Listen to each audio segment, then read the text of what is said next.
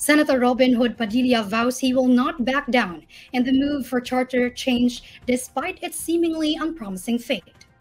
Padilla made public his committee report proposing amendments to the economic provisions of the 1987 Constitution through a constituent assembly on Friday.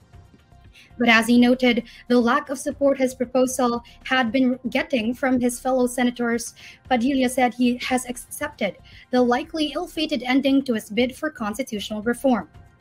Meron po talaga, uh, may konting kalungkutan, pero hindi naman po yun na, na babalot ng kasawian. Sapagkat uh, naniniwala naman po tayo na tayo ay nagtrabaho. Padilla says the only signatures his, his report was um, would probably secure are those from his fellow PDP Laban members. The proposal, however, will need at least nine signatures from his committee members before it can be elevated to plenary for debate. For now, Padilla says he is willing to wait and see the results of recently passed economic liberalization measures awaiting implementation. Ibig sabihin nun na hindi ko pa uli susubukan. Meron pa naman susunod eh. Meron pa naman na susunod na taon, pwede pa naman ako mag-file ulit.